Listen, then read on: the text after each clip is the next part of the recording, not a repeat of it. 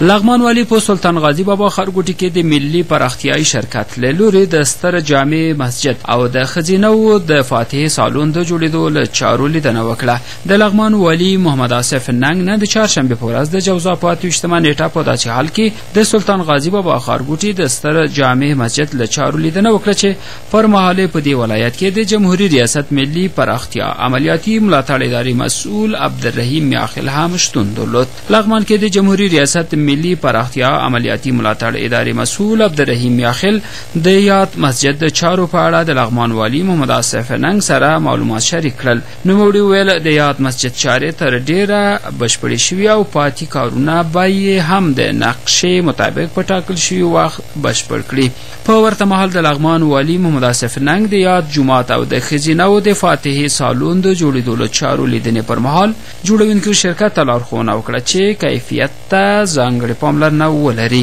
هغه د ملي پراختیا شرکت استازي ته لارښوونه وکړه چې په وخت د مسجد له کارونو څارنه کوي